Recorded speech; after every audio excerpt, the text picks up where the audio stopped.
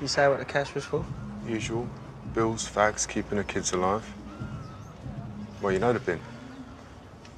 Me and her son have a bit of a past. Not the fun kind either. Tragically, her family and mine are going to have a future too.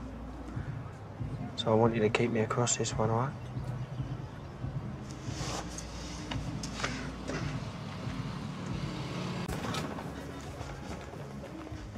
You weren't at home, or the Arches, or the Caff. Sorry, Mum. Now, don't try and wisecrack your way out of this, Ben. You're a coward. It's a bit rich, isn't it? Coming from the one who's still got a foot in the closet. Stuart scared you off, didn't he? I just don't fancy being the gay Dumbledore to your gay Harry Potter. What? I'm bored of being the one to help you through all of this. You've still got oats to sow, flowers to pick, nuts to crack. I'm not like that, Ben. You're a man.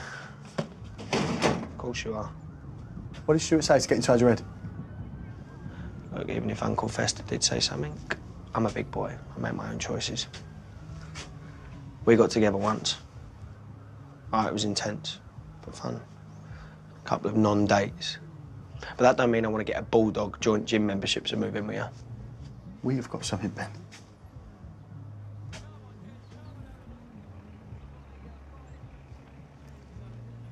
We don't. Now, was there anything else?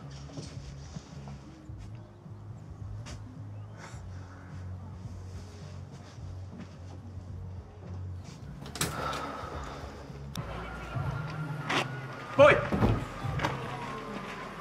Boy! Wait! Look, my ticker ain't what it was. We warned you not to come back. You ain't got the bottle for warnings. Look, forget last time. I just want to know how the new Mr. and Mrs. Highway are doing.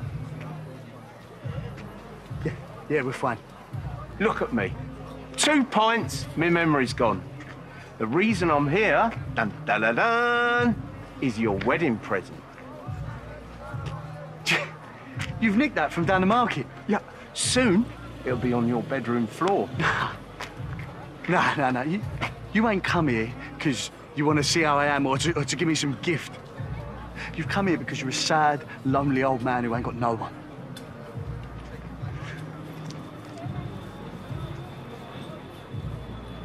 I knew